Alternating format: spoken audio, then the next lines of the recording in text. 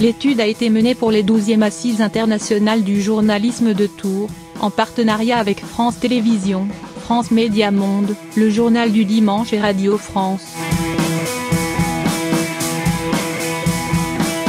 Une couverture médiatique très critiquée.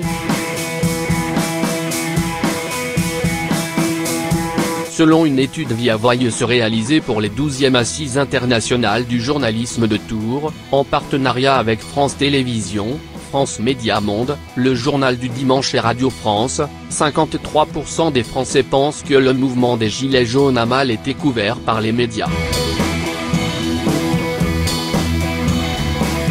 La raison de ce mécontentement?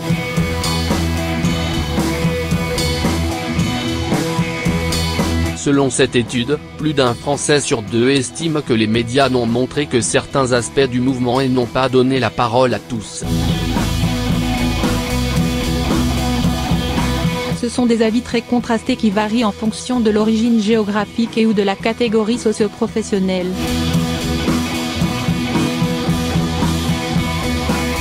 Dans les milieux ruraux, la critique envers les médias est plus vive qu'en région parisienne ou chez les cadres, a précisé Jérôme Bouvier, président des Assises, rapporte France 24. Des avis très contrastés.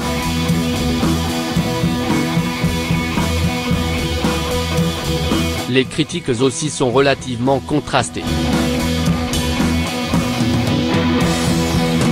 Comme l'explique le site français Vinfo.fr, 35% des sondés pensent que la parole a été donnée davantage au gouvernement et à la majorité présidentielle, quand 18% des sondés considèrent que la parole a été plus donnée de manière générale aux Gilets jaunes.